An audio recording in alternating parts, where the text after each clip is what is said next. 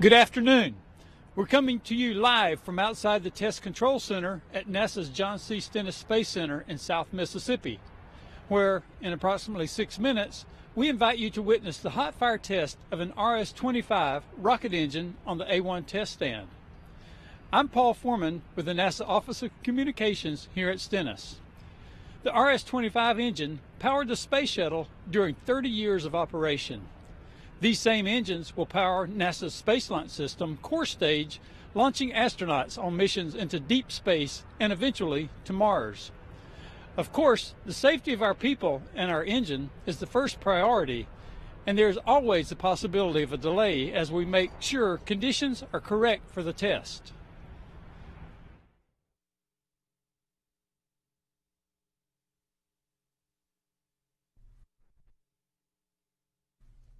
Four RS-25 engines will help power the Space Launch System, or SLS, at launch, providing a combined 2 million pounds of thrust. In conjunction with a pair of solid rocket boosters, total thrust at takeoff will exceed 8 million pounds. In addition to testing RS-25 engines for the Space Launch System flights, NASA at Stennis is preparing the B-2 test stand to test the actual SLS core stage for the new rocket's inaugural flight known as Exploration Mission 1, or EM-1. That testing will involve installing the actual flight core stage on the B-2 stand and firing all four RS-25 engines simultaneously, just as during an actual launch. The B-2 test stand was originally built to test Saturn rocket stages that propelled humans to the moon during the Apollo program. Preparing the stand to accommodate the SLS core stage required a complete renovation of the stand. Major construction on the stand has been completed, and NASA recently passed another milestone along the way to the actual hot fire test, conducting a water flow test on the B-2 stand. Water is critical for such rocket engine and stage testing. The fire and exhaust generated during tests is directed down and out of the test stand via a large flame deflector. Water, among other uses, is used to cool the super hot fire and exhaust and to protect the flame trench from damage by the heat. Water to the B-2 test stand is supplied through a high-pressure industrial water system upgraded for the SLS core stage project to deliver as much as 335,000 gallons per minute at 220 pounds per square inch. During a test, the water deluge system will deliver more than 240,000 gallons of water a minute through 32,000 plus five 32nd inch holes drilled into the flame deflector. Back on the A1 test stand, preparations for today's RS-25 test appear to be progressing smoothly. A main objective for today's test will be testing a new flight controller or brain of the engine. The controller, which is currently installed on the developmental engine, has the electronics that operate the engine and communicate with the SLS vehicle. Once test data is certified, the engine controller will be removed and installed on a flight engine in preparation for flight of SLS and the Orion spacecraft. We're getting close to test now, so let's go back to coverage of today's hot fire test of an RS-25 rocket engine.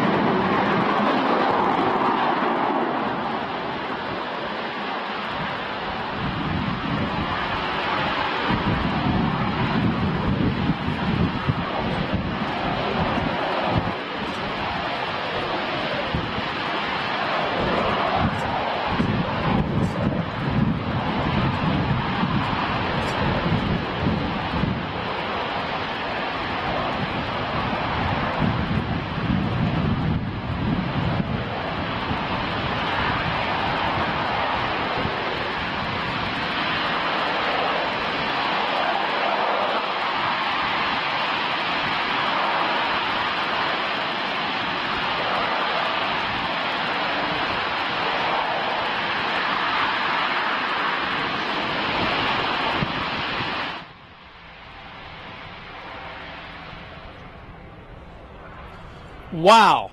I hope this test provides a glimpse into the